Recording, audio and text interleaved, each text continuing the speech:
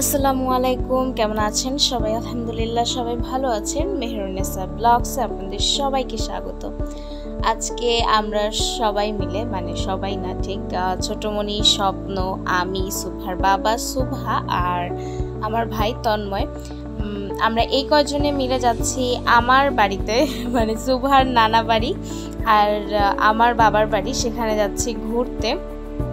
তো আমরা ঈদের পরে আব্বু বলছে, সবাইকে দাওয়াত দিছে, কিন্তু আসলে আমার ননদরা মানে সীমা, আপু আনি আপু, আমার শাশুড়ি, শ্বশুর, এরা কেউ যেতে পারছে না। তো এই জন্য আমরা এই কয়জনই যাচ্ছি যে সুভা মানে ওর নানা ভাই আসার পরে ও কখনো যায়নি নানা বাড়িতে, এই জন্য।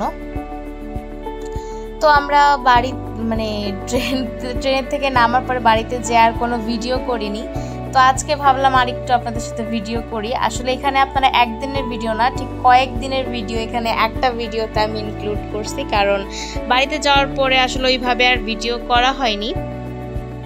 তো আজকে আমরা চলে আসছি ছোট আমার মেজো ফুপির বাসায়, মেজো ফুপির শ্বশুর বাড়িতে আর সেটা হলো আমার দাদু বাড়ির এদিকেই এইখানকার গ্রামে গোপালপুর বলে এখানে। তো এই গ্রামটার নাম গোপালপুর। তো সেখানে আসছি ঘুরতে। আমরা সবাই মিলে আমার মেজো ফুপির শ্বশুর বাড়িতে এখানে মেজো ফুপি নাস্তা দিছে, পেয়ারা, তার সাথে মালটা, দেন লেবুর শরবত, তার সাথে আবার বিট লবণও দিয়ে দিছে ছোট মেজো ফুপি যাতে পেয়ারা দেখে খেতে পারি। তো আমরা নাস্তা পানি করে বের হয়ে গেছি। তো যেহেতু আমরা দুপুরে খাওয়া দাওয়া করেই আসছি, তো এই জন্য আর আমরা এখন খাওয়া দাওয়া করিনি। মানে এসে জাস্ট একটু বসে স্বপ্নীল বিনতিদের সাথে দেখা করে দেন আমরা এখন আবার বের হয়ে গেছি। কারণ যেহেতু সুভা আমাদের সাথে আছে, তো খুব বেশি রাত করব না। বাসায় যেহেতু মানে আমার দাদু বাড়িতে মানে আমাদের বাড়িতে যেতেও টাইম লাগবে।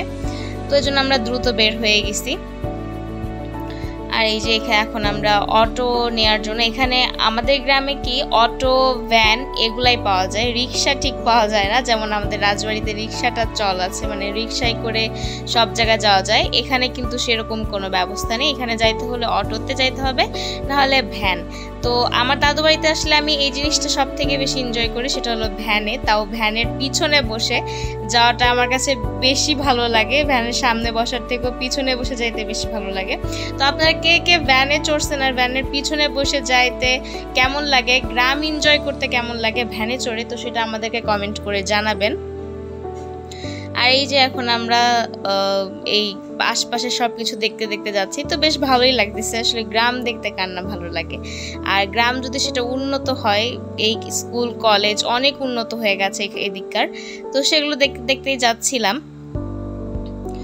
তো আজকে ভিডিওটা একদিনে না, কয়েক দিনের। মানে আমাদের যাওয়ার থেকে শুরু করে আসার আগ পর্যন্তকার সমস্ত ভিডিও মানে ছোট ছোট করে কিছু ভিডিও ক্লিপ নেওয়া, সেটাই আপনাদের সাথে শেয়ার করতেছি।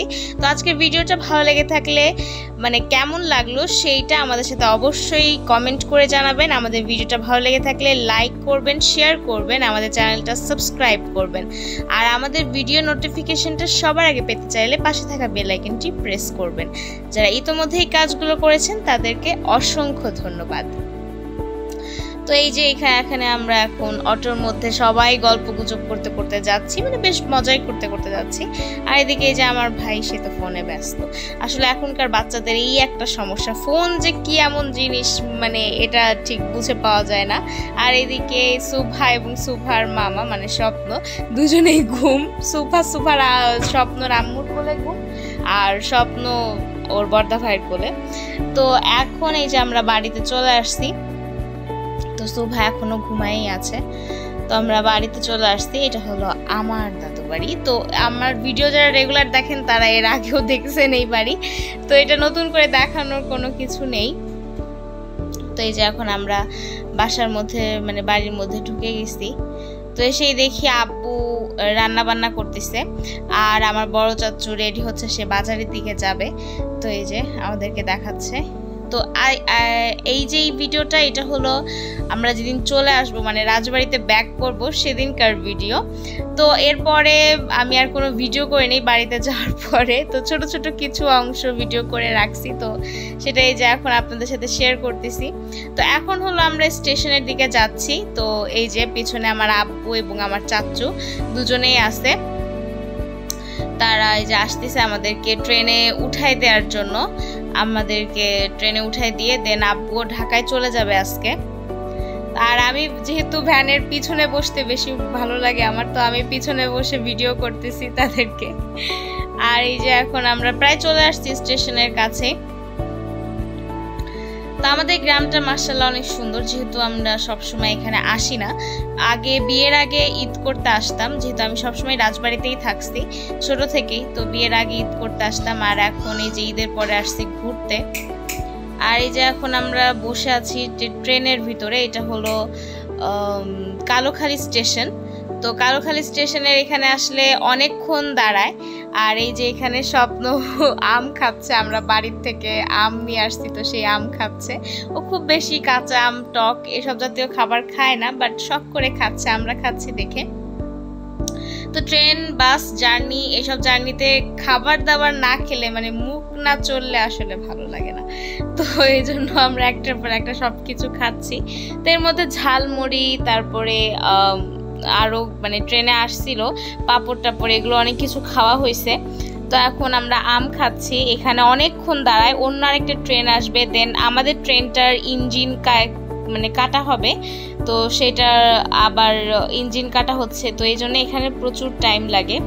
আর আমাদের এই বগিটায় স্পেশালি এই বগিটায় প্রচুর বাচ্চা ছিল। তো সেখানে আমার সুভাও ছিল। আসলে আশপাশের সমস্ত বাচ্চা গরমে।